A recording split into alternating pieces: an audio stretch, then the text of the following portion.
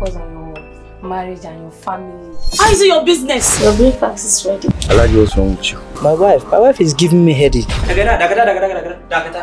just 1 a.m. now. I'm not very late. Out of my house. I'm tired of this. I'm tired of this nonsense.